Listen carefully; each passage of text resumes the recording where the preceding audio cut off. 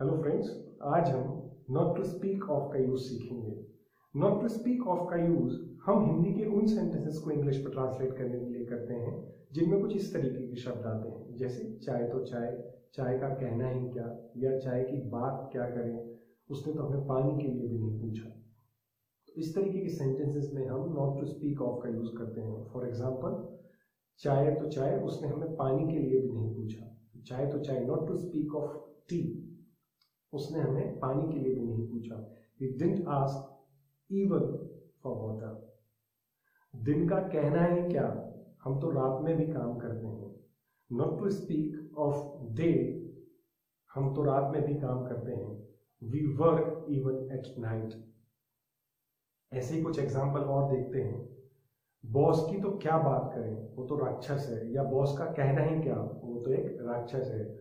Not to speak of boss is a demon इसी तरीके से हम एक एग्ज़ाम्पल और देखते हैं कि बिजली की क्या बात करें, उसके घर में तो एक मोमबत्ती भी नहीं है।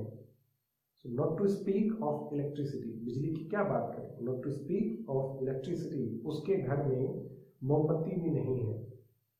He doesn't have even a candle तो आपने देखा होगा, इस तरीके से इन सभी सेंटेंसेसों में हमने दिन तो दिन दिन का कहने क्या है दिन की क्या बात करें।